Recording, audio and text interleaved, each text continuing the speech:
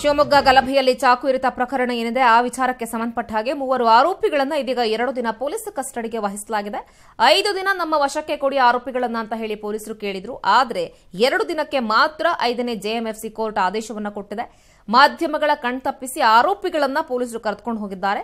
ನದೀಮ್ ತನ್ವೀರ್, ರೆಹಮಾನ್ ಅನ್ನ ದೊಡ್ಡಪೇಟೆ ಪೊಲೀಸರು ಕರೆದುಕೊಂಡು ಹೋಗಿದ್ದಾರೆ. ಎರಡು ದಿನಗಳ ಕಾಲ ಅವರ ಕಸ್ಟಡಿಯಲ್ಲಿರ್ತಾರೆ ಆರೋಪಿಗಳು. ಅವರು ಐದು ದಿನ ಕೇಳಿದ್ರು. ಆದರೆ ಐದನೇ ಜೆಎಂಎಫ್ಸಿ ನ್ಯಾಯಾಲಯ ಮಾತ್ರ ಇಲ್ಲ, ಎರಡು ದಿನಗಳ ಮಟ್ಟಿಗೆ ಸಾಕು. ತನಿಖೆ ನಡೆಸಿ ನಿಮ್ಮ ಕಸ್ಟಡಿಗೆ ತೆಗೆದುಕೊಂಡು ಅನ್ನೋ ವಿಚಾರವನ್ನ ಹೇಳಿರೋದ್ರಿಂದ ಎರಡು ದಿನಗಳ ಮಟ್ಟಿಗೆ ಪೊಲೀಸ್ ಕಸ್ಟಡಿಗೆ ಆರೋಪಿಗಳನ್ನ ತೆಗೆದುಕೊಳ್ಳಲಾಗಿದೆ.